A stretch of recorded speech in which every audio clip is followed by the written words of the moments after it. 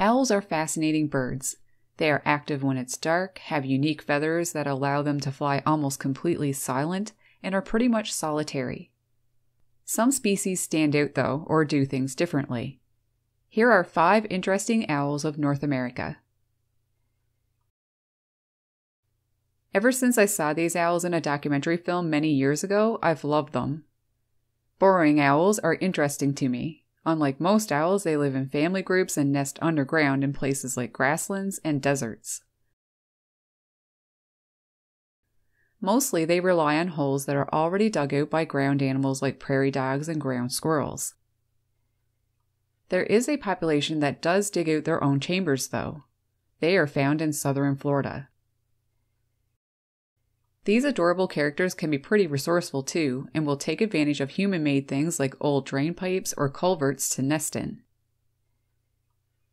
Unlike with what we see with most owls, these guys spend a great deal of their time on or very near to the ground, which is where they hunt and also keep watch out for any trouble. Their stern, serious look and practically turning their head upside down is too comical. Such distinct little owls. Great horned owls are very large and very widespread too, found throughout all of North America and even throughout South America. There isn't a habitat these large birds can't make a suitable home, it seems, as they can live and nest in the deserts, rainforests, grasslands, wetlands, cities, parks, or deep in the woods of the boreal forests. Among owls, these guys have the most varied diet too. Preying on tiny rodents, scorpions, and bats, to skunks, rabbits, rats, birds, and anything in between.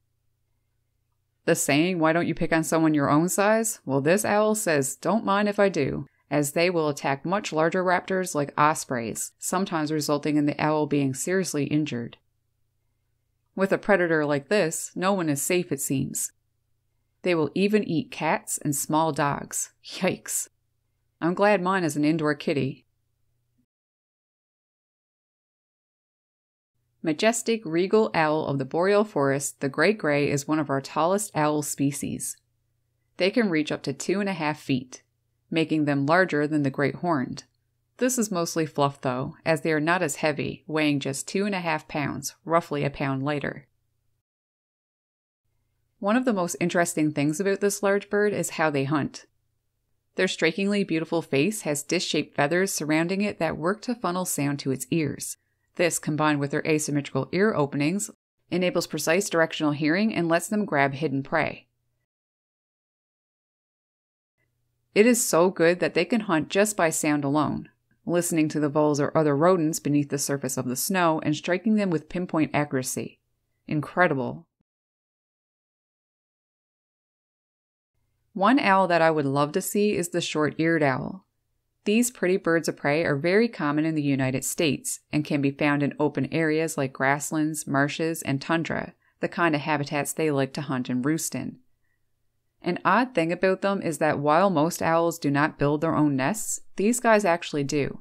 The female will scrape a bowl shaped nest into the ground and line it with things such as grass and soft feathers.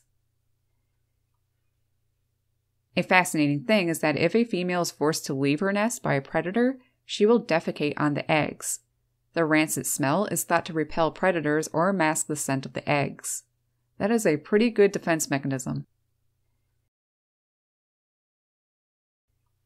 Now for the snow ghost of the Arctic, the snowy owl. Breathtaking birds to see, their yellow glowing eyes and beautiful snow white plumage work very well to blend them into their surrounding snowy environment. Weighing between 3 to 4 pounds, this is the heaviest owl. These powerful birds of prey survive on mostly small mammals. An interesting thing is that every four to five years, their favorite prey, voles and lemmings, drop significantly, making it hard for them to live in the Arctic. So, large numbers of snowies leave, moving southward by the hundreds and sometimes thousands, making their winter home across Canada and in many states of the lower 48. What a spectacular treat! Once or twice in a lifetime, a mega eruption occurs. Our last such event was in winter 2013 2014, with them showing up as far south as northern Florida.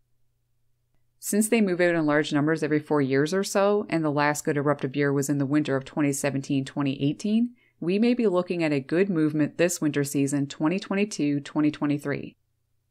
So keep a watch for reports of snowy owls popping up in places they don't normally go by November or December. Owls are incredibly fascinating, and it is always a treat when I see our neighborhood great horned. Of the five owls I touched on, which one would you like to see a full video on? Comment below and share your thoughts. I hope you enjoyed the video. Happy birding! If you'd like to support my channel, the very best way is by liking this video or sharing it with other fellow birders. One other way is by visiting my shop at lesleythebirdnerd.com where you can get a little something back at the same time or a gift for a friend or loved one. Thank you for the support.